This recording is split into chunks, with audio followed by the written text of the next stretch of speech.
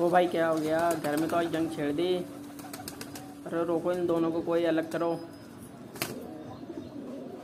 लड़ कट के मर जाएँगे।